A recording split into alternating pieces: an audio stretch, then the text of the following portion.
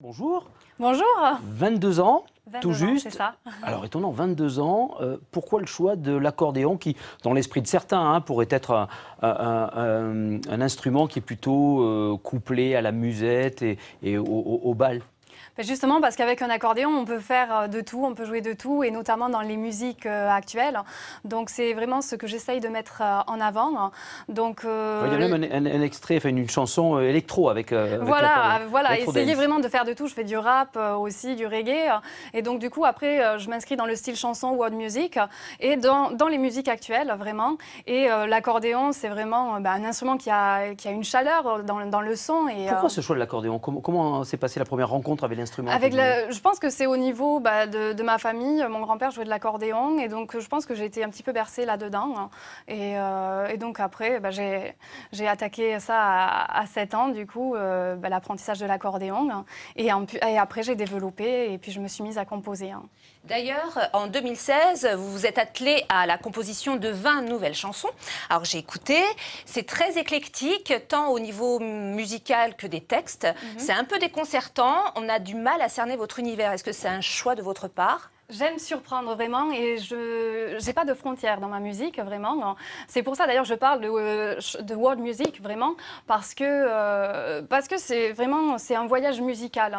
C'est comme je dis c'est euh, écouter mon concert, mes chansons, c'est comme naviguer sur des eaux mouvementées sans savoir où les vents vont nous porter. Donc c'est vraiment le but de surprendre. Et les chansons, en fait, là, il y en a 20. Donc c'est destiné pour euh, du spectacle vivant ou est-ce que vous avez l'intention également de sortir un album? Euh, donc euh, là, pour l'instant, je, suis, je mets en place euh, la, la- la version concert, donc c'est vraiment ce qui est en place actuellement. Après, faire un album, pourquoi pas Du coup, je suis à la recherche de tourneurs, production, hein, pour justement dé- développer tout ça.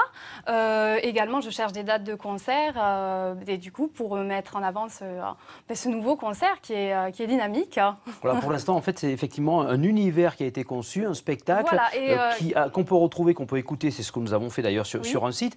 Pourquoi LMJM Ça veut dire quoi? LMJM, euh, ce sont les initiales de mon nom et de mes prénoms. L pour la Molinerie, M pour Marion, J pour Julie, M pour Manon. Et ça fait LMJM.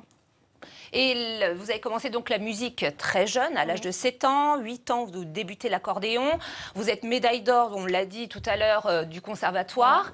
Et vous avez composé vos premières chansons, vous aviez 13 ans. Et à 16 ans, vous décidez de créer un spectacle musical. Alors, qu'est-ce qu'on raconte dans un spectacle musical quand on est ado? De quoi ça Ah, parlait bah, après, moi, je suis très rêveuse, en fait. Donc, euh, je, je pars beaucoup, même ce, ce qu'on retrouve actuellement au niveau de mes textes. C'est c'est à la fois, euh, c'est dans une réalité euh, onirique, vraiment, je parle. Donc, on oscille vraiment entre le rêve et la réalité. Je mets en scène des, des personnages un petit peu atypiques qui évoluent dans, dans ce décor un petit peu à la fois réel et irréel. Après, j'aborde beaucoup de thèmes comme l'amour, l'univers, le rêve, etc. Et, et donc, du coup, j'aime bien mettre en avant euh, des personnages du coup, que je crée.